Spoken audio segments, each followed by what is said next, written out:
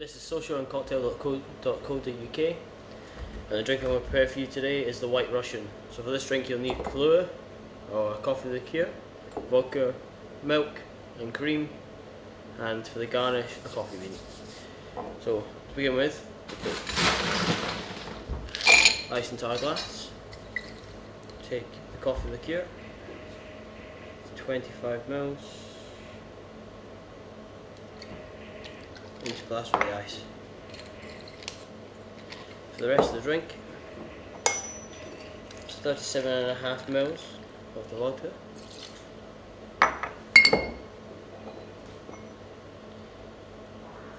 About the same with the milk and the cream.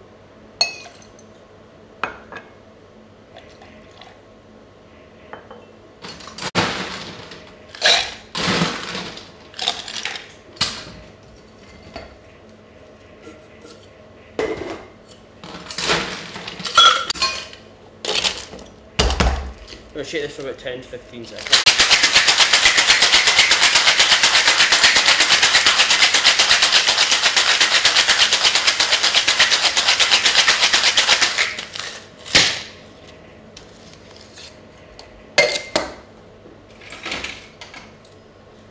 Single strain over the ice and the coffee liqueur.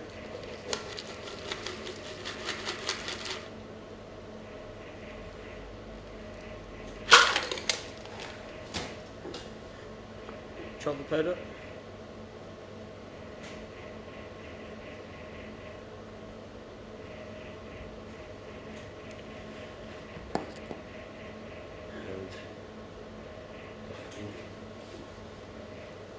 And now is your classic white Russian.